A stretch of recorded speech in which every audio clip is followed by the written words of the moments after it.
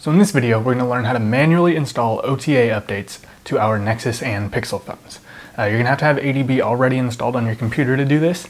Uh, if you don't have that set up, I'll have a link in the description to a video that I made on how to do that. Uh, once you have that set up, let's go ahead and get started.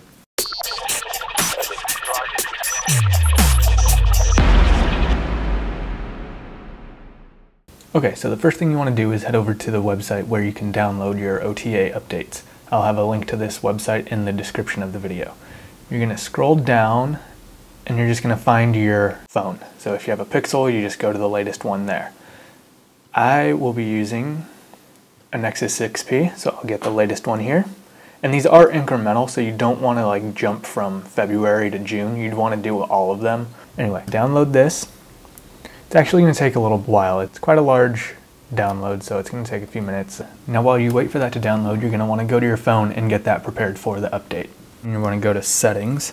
You're going to want to scroll all the way down and go to about phone and then scroll all the way down to build number and tap that seven times.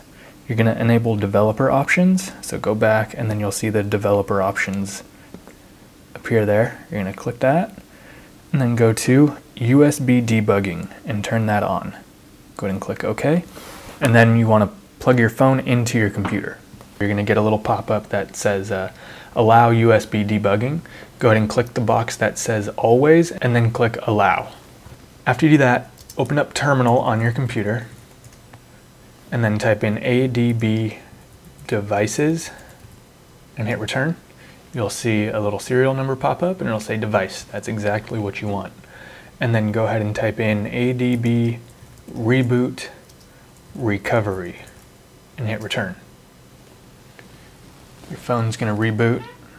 So then once your phone reboots, it's going to be in recovery mode. You'll see this little Android with the exclamation mark and no command. What you want to do is you want to hold down power and then tap volume up, just like this. And you'll see this menu come up. You're going to want to scroll down to apply update from ADB and tap power. So now that you have your update downloaded and your phone is prepared, go ahead and open up terminal and then type in ADB devices to see that your device is found. And then you're just going to go ADB sideload and then find your OTA in the downloads folder and just drag it into the terminal window. You don't want that space that was right there, so go ahead and delete that and then press return. It's going to say loading. And it's going to take a little while, so we'll go ahead and fast forward this. Just let it sit for a little while.